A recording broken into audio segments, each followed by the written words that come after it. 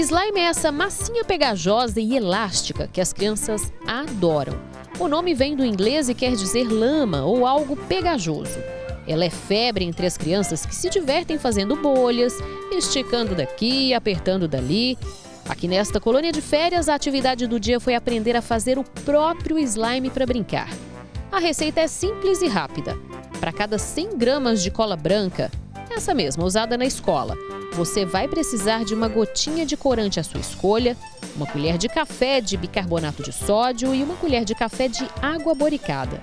Produtos facilmente encontrados na farmácia e bem baratinhos. E eu que também tenho criança em casa, não podia perder essa oportunidade de aprender a fazer o slime. Já estou aqui sentada com a meninada e vou entrar na roda para aprender. Já ganhei aqui a minha cola. O que mais que eu preciso, Raquel? A colherzinha e a gotinha de corante.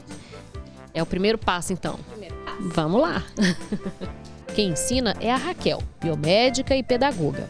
Agora, nós vamos colocar o bicarbonato de sódio aí na cola. É uma colherzinha de café e aí você tem que misturar bastante para dissolver todos os grãozinhos aí na cola.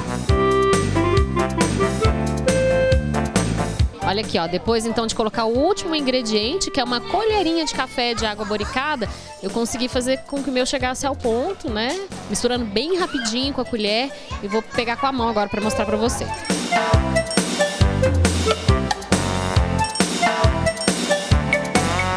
Vou perguntar aqui para os meus companheiros de aprendizado. Davi, ficou bom? Ficou legal? Mostra para mim. Ficou. ficou bem legal. Eu Agora eu posso brincar bastante lá em casa, mas um dia chega um ponto e vai ter que fazer outra. O que, você achou da experiência? Muito legal. Você já tinha tentado fazer alguma vez? Nunca. Muitas crianças já tinham tentado fazer o slime sem sucesso. Desta vez, olha só que beleza. Teve uma vez que eu fiz slime, aí eu tava jogando ele pra cima, ele grudou no meu cabelo, aí minha mãe não queria que eu fizesse mais.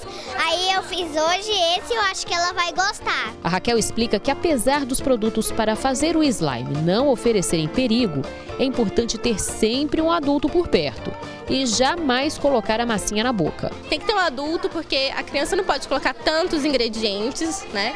E também o adulto ele vai supervisionar para a criança não colocar na boca. O slime pode durar até um mês se for bem guardado. Se guardar fechadinho dentro do potinho, ele pode durar muito tempo. E agora, como é que vai ser quando você chegar em casa? Eu vou ensinar para minha família. É, e vai fazer mais?